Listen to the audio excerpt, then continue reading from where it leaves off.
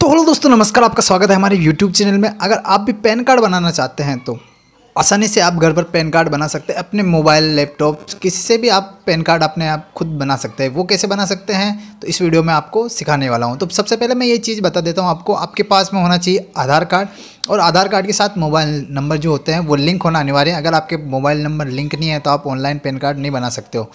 तो सबसे पहले आपको पैन कार्ड बनाने के लिए क्या करना होगा, डिस्क्रिप्शन में जो लिंक दे रखा है, आपको वहाँ पर क्लिक करना होगा और जैसे ही आप क्लिक लिंक पर क्लिक करेंगे तो आप वेबसाइट पर रिडायरेक्ट हो जाएँगे। तो चलिए, मैं आपको मोबाइल स्क्रीन पर ले जाता हूँ और आप पैन कार्ड कैसे बना सकते हैं, वो मैं आपको सिखाता हूँ।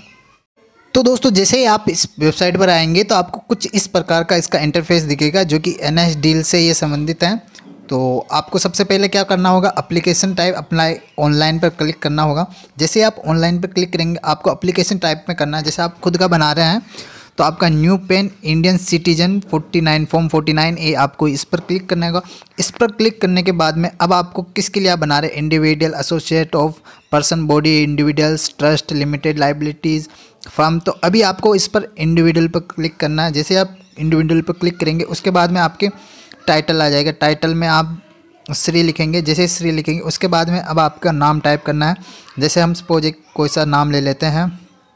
जैसे हम ले लेते हैं S I N G H Singh last name और फ़र्स्ट नेम में कर देते हैं A M I T Amit तो ये हमने अमित सिंह कर दिया। अगर आपका मिडल नेम जैसे और कोई आपका नाम है मिडल नेम तो आप मिडल नेम में आप एंटर कर सकते हैं।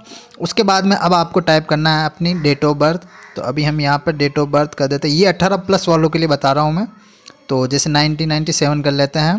और मैं कर लेते हैं और एक में ये हमारी हो गई जन्म डेट और उसके बाद में हमें मेल आईडी टाइप करनी पड़ेगी, जो कि हम मेल आईडी टाइप कर लेते हैं।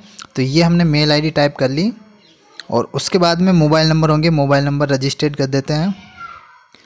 और जैसे ही हमने ये मोबाइल नंबर रजिस्टर जो हमने मोबाइल नंबर एंटर करने के बाद में आपको एक कैप्चा दिखेगा।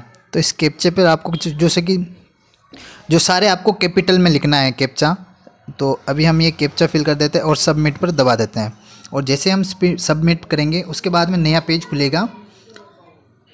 तो यहाँ पे लोडिंग हो रहा है। तो आप देखेंगे कुछ इस प्रकार का आपको एक टोकन नंबर मिल जाएगा। तो क्योंकि जो आपके रेफरेंस नंबर जो टोकन नंबर मिला, इन टोकन नंबर में अगर आप बाय चांस इससे एग्जिट हो जाते हैं तो आपको वापस वापस इसी वेबसाइट पर आपने जो फॉर्म भरा था, उस पर आप जा सकते हैं। तो continue with PAN application form पर जाएँगे। और इसके बाद में आप देखेंगे कि आपका जो डाटा है, वो इसमें जो आपने जन्म डेट वगैरह फिल करी थी, वो कुछ इस प्रकार का आ जाएगा। तो आपको सबसे पहले submit digital through E K Y C E sign paperless तो जैसे आप इस पर क्लिक करेंगे, आपको इस पर ही रहने देना है, क्योंकि आपको डॉक्यूमेंट्स भेजने की कोई ज़रूरत नहीं। आप जैसे ई के वाई सी करेंगे तो आपका आधार कार्ड, जो आपका आधार कार्ड है, वो ई साइन हो जाएगा और आपका पैन कार्ड बन जाएगा।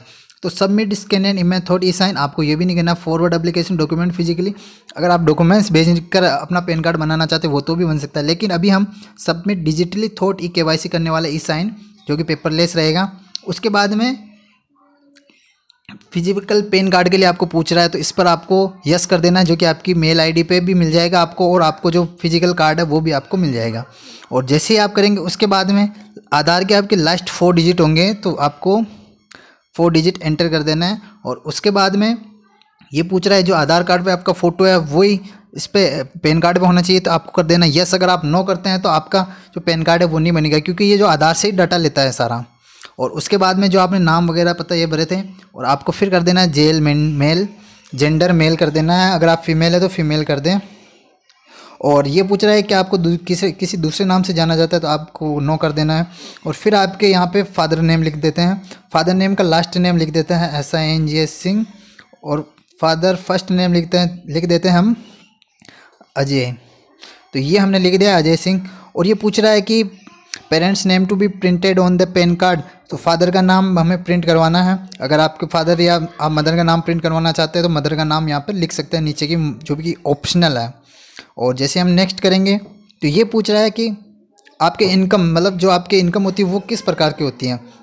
सैलरी से इनकम फ्रॉम बिज़नेस से। तो आप अगर आप स्टूडेंट है तो नो इनकम करेंगे। अगर आपको किसी प्रकार की इनकम है तो आप कर देंगे इनकम फ्रॉम अदर सोर्स तो इस पर क्लिक करने के बाद में अब आप कुछ यहाँ पर आ जाएँगे। तो अभी आपको यहाँ पे कुछ नहीं करना है। अभी यहाँ आने के बाद में टेलीफोन नंबर है ईमेल आईडी तो यहाँ पे अपने कंट्री कोड लगा देना है नाइन्टी वन जो कि हमने इंडिया का कंट्री कोड है। और आप देखेंगे ये same to same mobile number ये है, जो हमने ऐड किए थे, वही मोबाइल नंबर और मेल आईडी आ गई है।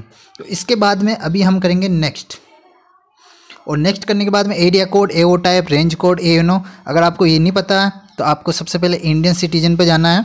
और जैसे ही आप इंडियन सिटीजन पे जाएँगे तो अभी हम चले जाते हैं राजस्थान। और राजस्थान जाने के बाद में अभी हम चले जाते हैं अपने डिस्ट्रिक्ट जैसे कि हमने मैं डिस्ट्रिक्ट चूज़ कर लिया। तो यहाँ पर ये देखिए आई टी ओ वार्ड ये अपना ऑटोमेटिक फिल हो गया। हमें भरने की कोई ज़रूरत नहीं है। और उसके बाद में आपको कर देना है नेक्स्ट और जैसे आप नेक्स्ट करेंगे तो ये proof of identity proof of address proof of date birth Aadhaar Aadhaar automatic ये फिल रहेगा। और उसके बाद में आपको हिम सेल्फ हर सेल्फ कर देना। जहाँ आपका प्लेस है, वो प्लेस आपको ऐड कर देना। जिस जगह से आप बना रहे वहाँ से। और उसके बाद में आपको कर देना है सबमिट तो ये हो गया your application is submitted please confirm detail और आपको एक कन्फर्म डिटेल करने के लिए पूछ रहा तो सबसे पहले आपके जो आधार कार्ड के एट नंबर होते हैं फ़र्स्ट वो एट नंबर आपको ऐड कर देना है तो ये हमने कुछ तो मैं आधार के एट नंबर ऐड कर लेता हूँ।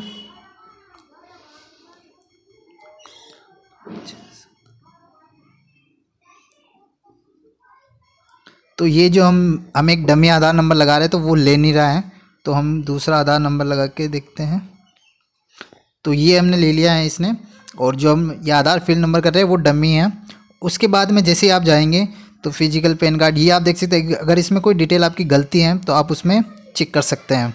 और इसके बाद में अभी आपको कुछ नहीं करना है, आपकी डिटेल चेक कर देनी है, और एडिट करना है तो आप एडिट कर सकते हैं। अगर आपका कंप्लीट फॉर्म है तो प्रोसेड कर देंगे। और जैसे ही आप प्रोसेड करेंगे तो उसके बाद में